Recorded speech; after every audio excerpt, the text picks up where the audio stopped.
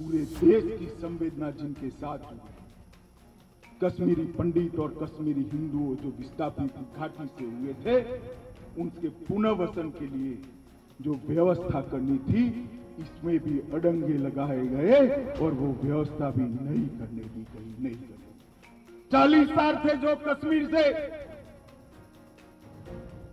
भागकर कश्मीर से भगा दिया गया।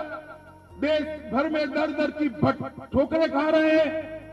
अपने ही देश में विस्थापित हो गए हैं। उनको अपनी मातृभूमि में रहने का अधिकार नहीं है क्या?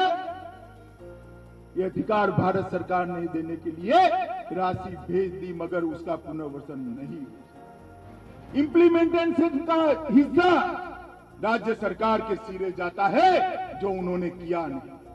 मित्रों भारतीय जनता पार्टी की नरेंद्र मोदी सरकार ने अस्सी हज़ार रुपये का पैकेज, अस्सी हज़ार करोड़ रुपए का पैकेज जम्मू कश्मीर के विकास के लिए दिया। और उसमें से इकसठ हज़ार करोड़ रुपया जारी भी की दिया।